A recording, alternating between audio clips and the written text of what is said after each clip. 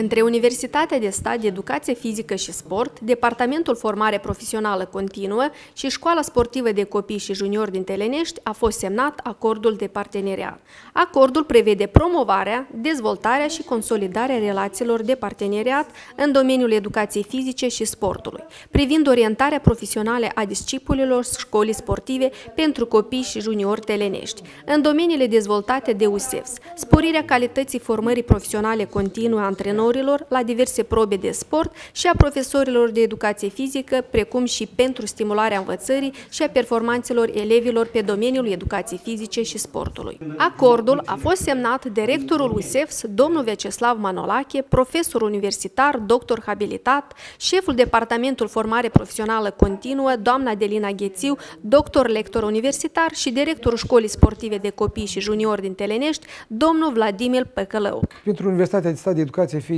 și sport, uh, orice colaborare cu orice școală sportivă, club sportiv, uh, asociație sportivă, federație, deci este binevenită, pentru că noi suntem acei care trebuie să punem la dispoziția școlilor sportive și cadrele didactice și uh, materiale, ceea ce ține de uh, materiale didactice, deci ghiduri metodice,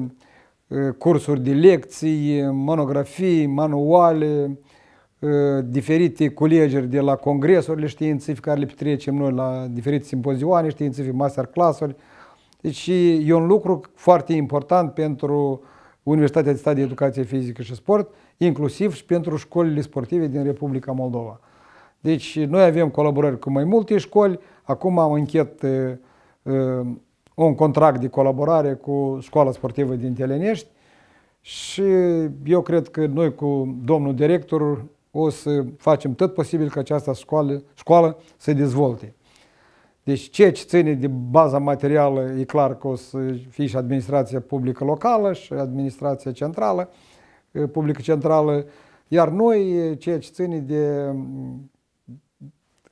didactică, de cadre, deci o să facem tot posibil ca să-i asigurăm. Cum și a menționat și domnul rector, domnul Manolache, beneficiile uh, contra, uh, însemnării contractului de parteneriat, în primul rând uh, cu cadrele didactice care sperăm la cadre didactice tinerii care să vie să activeze în școli sportive, plus la ce s-a referit domnul rector la lectură, la ajutor din partea universității pe anii semnării acordului. Îi mulțumim domnului rector, îi mulțumim doamnei Adelina Ghețiu, fiindcă că și contractul semnat și cu Departamentul de Formare Continuă, unde să colaborăm și mulțumim la o colaborare fructuoasă. În contextul acordului de parteneriat încheiat astăzi dintre Universitatea de Stat de Educație Fizică și Sport, Departamentul Formare Profesională Continuă și Școala Sportivă de Tineret și Juniori din Telenești, am trasat câteva obiective importante pe domeniul formare profesională continuă. Ținem cu tot din adinsul ca să ajutăm uh, uh cadrul didactice din raionul Telenești uh, să construim niște relații frumoase de parteneriat pe domeniul formării profesionale continue. Părțile interesate și-au exprimat dorința comună de a dezvolta și consolida colaborarea bilaterală în domeniul educației fizice, sportului și cercetării științifice.